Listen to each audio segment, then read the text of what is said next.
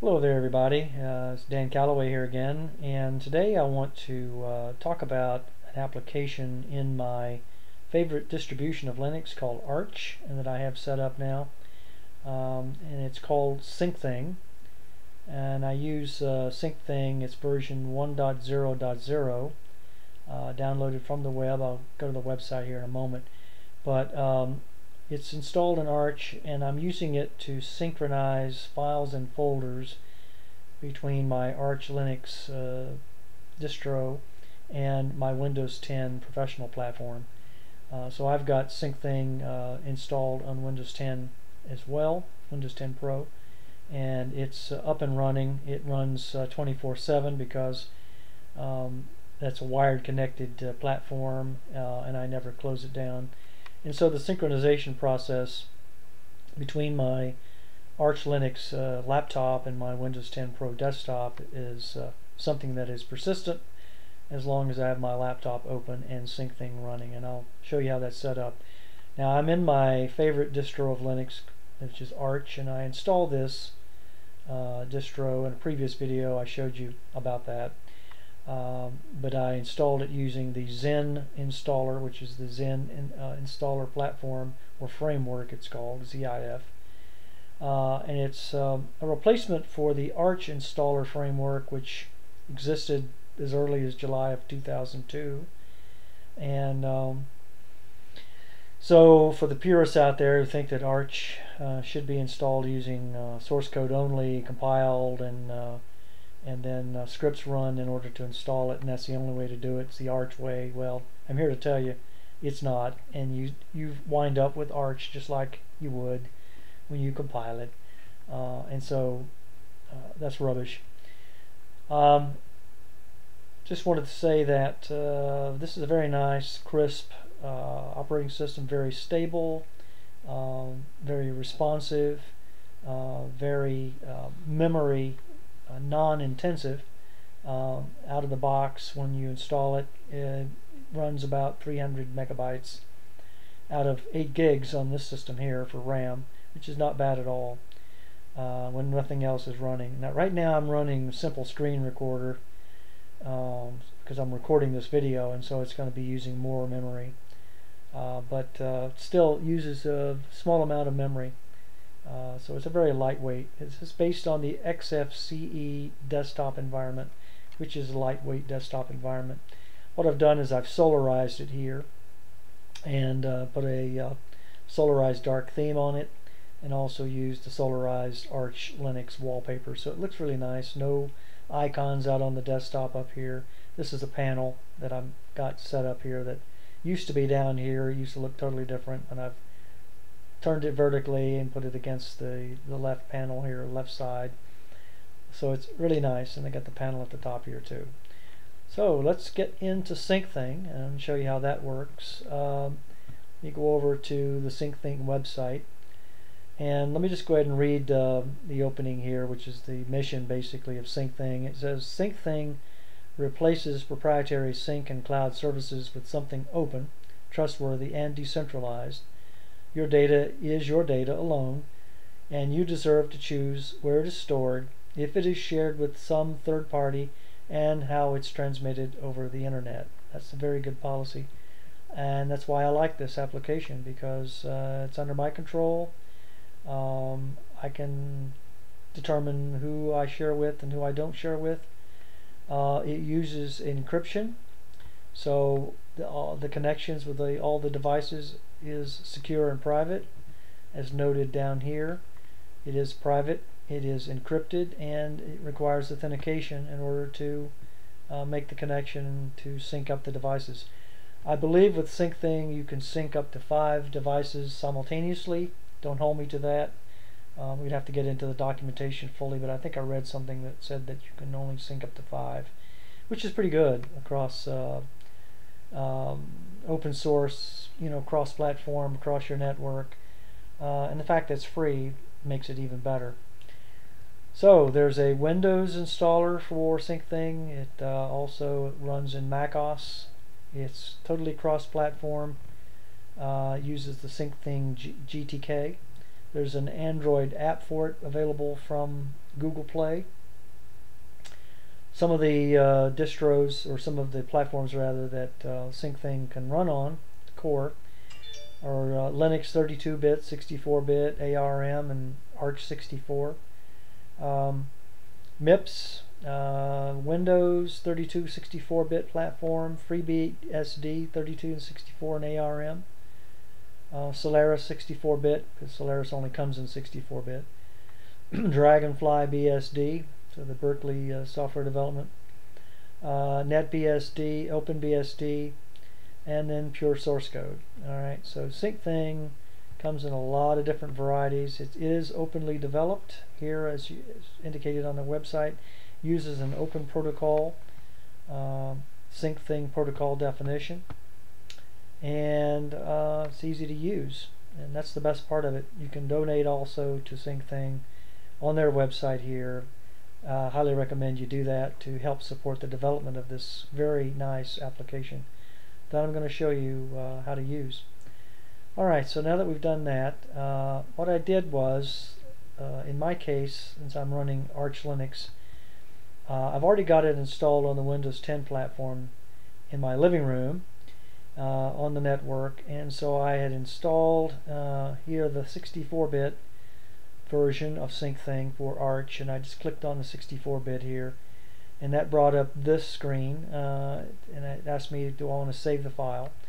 And that is the SyncThing Linux AMD v1.0.0.tar.gz so it's a, a gzipped tarball I'm going to go ahead and cancel it because I've already downloaded it, installed it.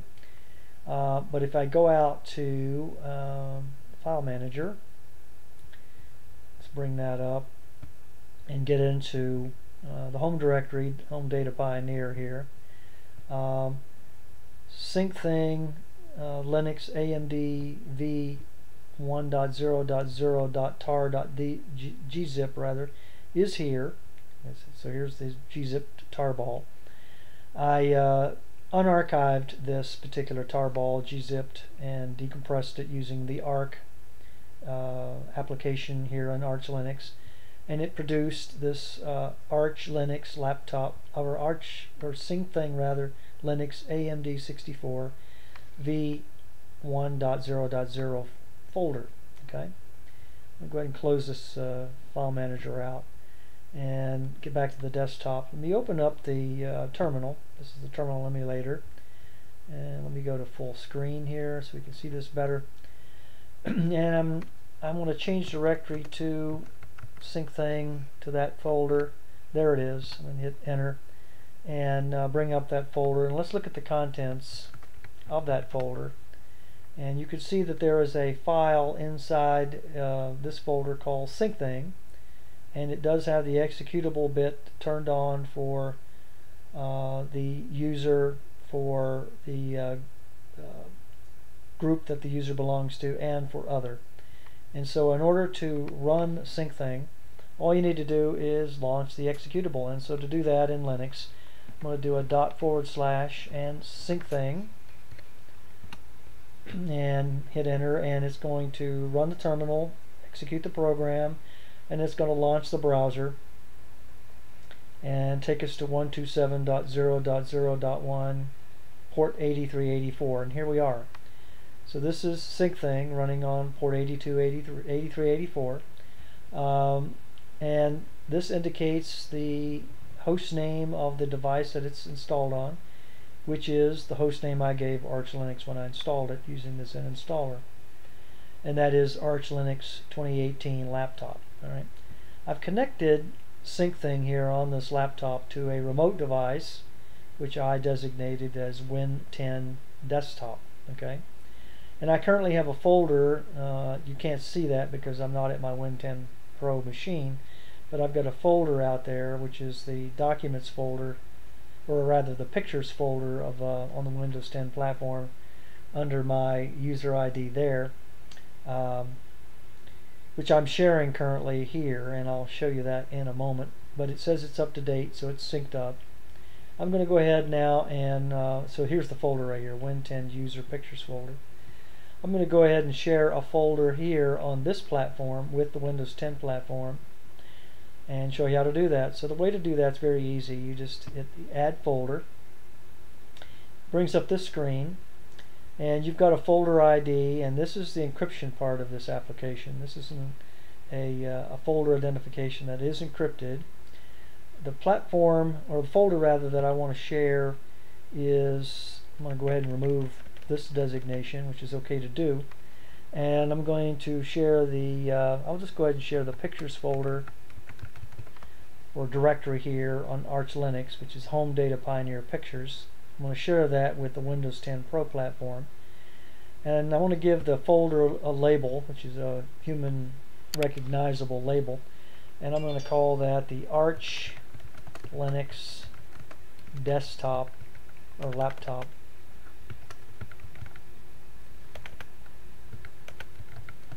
pictures directory. Okay.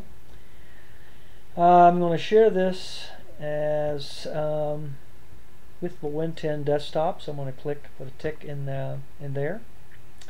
And uh, before I click save, I'm going to click on file versioning tab, and I'm going to tell it that the file versioning that I want is simple file versioning. Okay. And I'm going to tell it to keep two copies of every file that's either modified or, dele or deleted, moved or deleted rather. Um, and so if I accidentally delete a file uh, in the uh, pictures directory here uh, on the Arch system that gets replicated and synchronized over the Windows 10 platform, uh, there are two copies that are kept in a hidden folder location that I can retrieve through a restoration process. So this is a very nice application. Uh, I use it as a backup, but you can also use it to synchronize. It's like a mirror. I'm going to go ahead and click Save here. Alright, and right now it says unknown, but it's scanning, and so it says it's up to date. So it just, it took my pictures directory here um, on the Arch Linux platform, and it sent it over to the Windows 10 platform, uh, and it put it in a location there on the Windows 10 platform um, and it's called Arch Linux Laptop Pictures Directory and I can go ahead and pin that to the uh,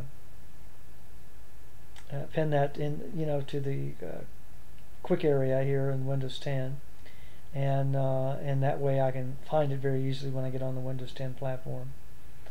Alright so it's syncing that platform now so it hasn't completed that process. It's still at 82% um, but I've already synced up, as I said, the Windows 10 user uh, users pictures folder. And so uh, let me go out on uh, Windows, I mean the Arch platform again. Let's get into the uh, area here in the um, file manager. And here's the Windows 10 users pictures folder. All right, you can see uh, all that's over there. And so let me go ahead and open that folder in the normal way here in the file manager. And so that's everything that was on the Windows 10 Pro platform that's related to pictures uh, that's now been synced to my uh, home data pioneer and a directory called Windows 10 user pictures folder on my Arch system so I can access these things. And so if I wanted to look at some AUR helper screenshots, all I have to do is double click on that and um, I want to take a look at the pacman uh, xg.ping file. I can just right click on it and open it uh, with the Ristretto image viewer. And there we go. Alright, and that's on my Windows 10 platform, but it's synced up here on my Arch uh, Linux platform as well. Alright, so that's how it works. Um, SyncThing is uh, an application that syncs uh, on a schedule. Uh, it syncs, I believe, every um, 60 minutes uh, here on this uh, platform as well, and on the other platform in Windows 10 also. Um, you can go into the settings here and you can see that you've got a device name here, minimum disk free space. Here's the API key. that is the encrypted part of this process. So all the data between that gets synced between the two devices here are encrypted or is encrypted using this API key. Uh, and then um, I don't have, uh, I've got stable releases only being automatically upgraded here in the app. Okay, so that's uh, Syncthing. Uh, it's very nice, very easy to use, um, and very easy to set up as you can see. Uh, you replicate this process on the other end uh, to sync things from the Windows 10 Pro system to the Arch Linux system. Okay. Um, show you one other thing before we get out of here. What I did was, um, in order to prevent from having to launch uh, this application the way I did, the way I showed you, by uh, going into the home directory in Arch and then finding the executable and then running it, um, let me go ahead and um, stop the uh, Syncthing first before I do this. One second, let me find it and let me go ahead and close this. And then in the terminal, let me do a, a control C to close. Okay. So I've got Syncthing closed now on this end. What I did was, uh, there was a file in Arch Linux, uh, and it's under the uh, root directory. Uh, I'm not sorry, I'm not in the root directory, but under the uh, home directory uh, for the user, which in this case is Data Pioneer, Home Data Pioneer. Um, and it's called .bash rc. And so let me open up the terminal. And let me bring this up to full screen again. And uh, I've got nano installed on here, so I'm going to do a nano, do a sudo nano, and then uh, I'm already in my home directory, so all I need to do is dot, dot bash rc, open that up, and I need the password first. Get in. Alright, and so I'm now looking at my .bash rc file. What I did was I created an alias here, and I stored it in .bash rc, which makes it a persistent alias. And I called it sync, so the alias's name is sync. And what it is is home data pioneer Syncthing Linux AMD 64V 1.0.0 and then the dot forward slash Syncthing. Same thing I did manually uh, in the terminal earlier. And I saved it. So I put the quotation marks on either side. That's very important. You need to do that to create the alias. And then I saved it by doing a control X and then C, but I've already saved it. And so if you're saving that for the first time, you do a control X um, and then do a Y for yes and to save the file. But you have to have sudo privileges to do this, uh, so you need to do sudo first to make sure that it's a read-write nano process. Otherwise, it's going to tell you that it can't save it. Alright, and so now all I need to do to launch Syncthing, let me clear the screen, is to just run the alias, sync. And so it's going to run the alias, and it's going to launch Syncthing once again, just like it did earlier. And there you go. Um, set up so that it's very easy, it's like running any program like in Windows. And so in a few seconds we should have Syncthing come up and um, there we go. Alright, so that's how you do it. That's what Syncthing does. Very nice application. Um, if you have any questions, just leave in comments down below. And I'll put a link out to the Syncthing uh, website so that you can go there, or download this for yourself. And uh, thanks for watching. Have a nice day.